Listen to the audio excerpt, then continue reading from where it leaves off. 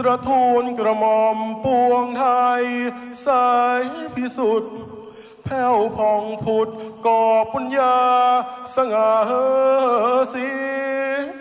สมเด็จพระเทพพระตราชกุมารี